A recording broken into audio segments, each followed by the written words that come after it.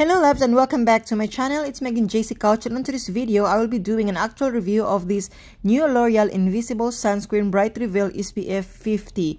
So just letting you know that I don't have any makeup or foundation on my face. I already washed my face by the way.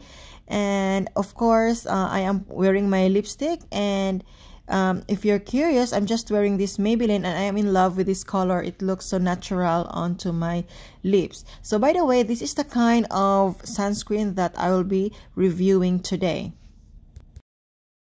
But before that, I am just going to brush my hair a little bit and then I will start showing you the actual application of this sunscreen.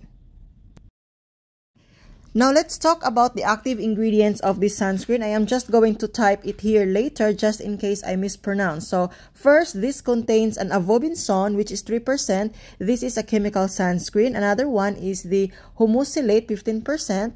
This is to shield the skin from sun exposure by absorbing UV light and it protects the skin from harmful sun rays. Another one, this is the octisalate. Octisalate, just uh, correct me if I got wrong. 5% sunscreen. And then it says here the octocrylene. I don't know if I am pronouncing this right. So this is octocrylene 10% sunscreen. So these are all the active ingredients of the sunscreen. So aside from the active ingredients, there are a lot of inactive ingredients, but I am not going to elaborate one by one on here. So when it comes to the consistency of the sunscreen, if you can see that one clearly in the camera, it looks like it's runny or it's kind of super liquidy consistency. So now let's talk on how to apply and when to apply this sunscreen. So apply 15 minutes before sun exposure and then make it sure to reapply at least every 2 hours. So don't forget to shake well on the bottle before applying it onto your, your face. And by the way, this sunscreen is not a water resistant. So if you're doing like swimming or um, extreme sport, then better choose a sunscreen that is a water resistant. So now as I'm applying my sunscreen, I did not really measure how much sunscreen I'm going to apply, but ideally it says that it's about like 2 tablespoons of sunscreen that you're going or we're going to apply it onto our face to get the maximum benefit of the sunscreen. So honestly, I don't have time to measure for that. So I usually eyeball on how much sunscreen I'm going to apply it onto my face. So what I uh, usually did or do is that um, I usually apply the first layer, then after like a minute or two minutes, then I'm going to reapply just to get the maximum amount of sunscreen for my face because you don't want to put uh, less sunscreen onto your face because you can't get the uh, maximum benefit of the sunscreen. By the way, this sunscreen also contains vitamin C and vitamin E and these are just antioxidant. These help protect for, from environmental damage.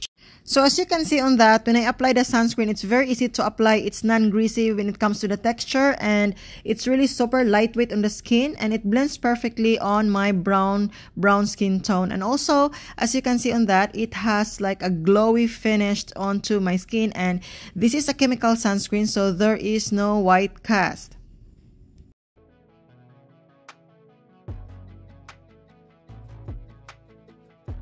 So as I've mentioned, I don't measure the sun amount of sunscreen that I put into my face. So I just eyeball and I layer my sunscreen like after like two minutes, I have to reapply another layer of sunscreen just to make it sure that I get the full amount of sunscreen or benefit onto my skin.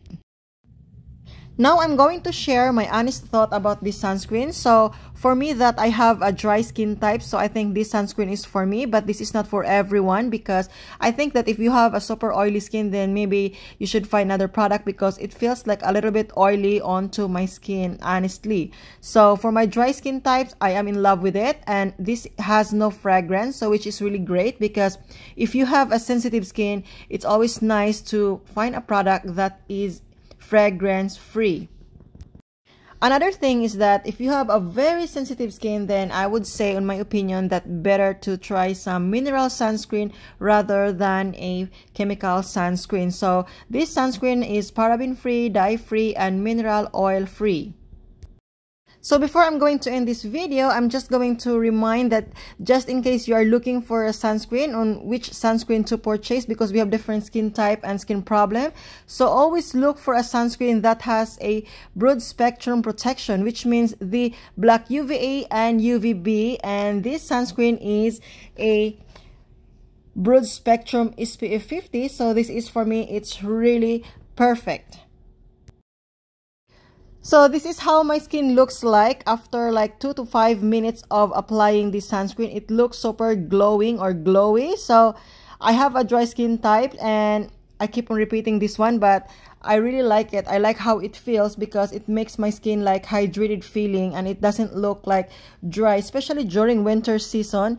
This is really perfect if you have a dry skin type but I always have to say this one we will have different skin types, skin tones, skin problems. So always uh, consult for a dermatologist just in case you have a sensitive skin. But